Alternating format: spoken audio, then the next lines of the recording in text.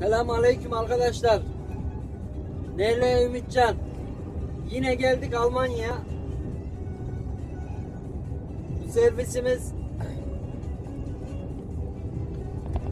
Münşin'den, Münih'ten yani Mardin Münih hattı var ya o misal geldik Münih'ten arabamızı aldık çekim çekicimizi gidiyor bağlım gidiyor yukarı doğru size bir selam edeyim dedim o yüzden açtım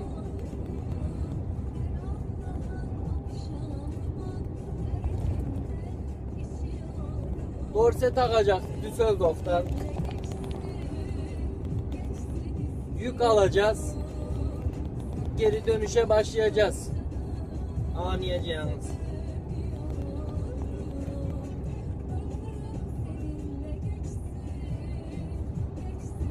araba ne diye soracağınız. Ah ben sormadan açayım. Mercedes. 2011 mi vallahi modelini sormayın. Benim modelden pek alakam yok. Para mara vermedik beleş. Aldık gidiyor gidiyor.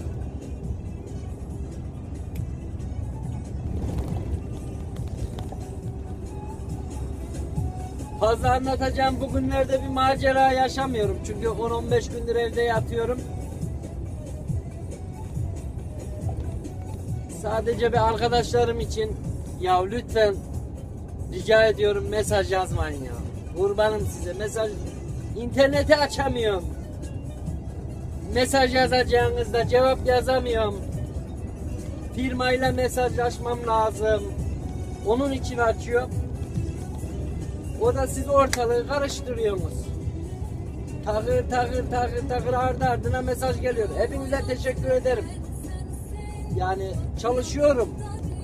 Yoksa problem değil. Vallahi herkese cevap vermek istiyorum. Veremiyorum, üzülüyor. Telefonda titriyor, kusura bakmayın. Ben titremiyorum, telefon titriyor. Hava güneşli, 25 derece Almanya'da.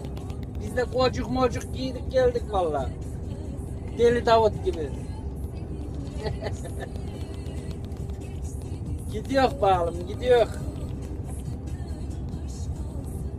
Otoban kesmedik. Polis çevirirse ne yazacak bakacağım. Zaten arabada mazot da çıkmadı. Canım sıkıldı. Otobanı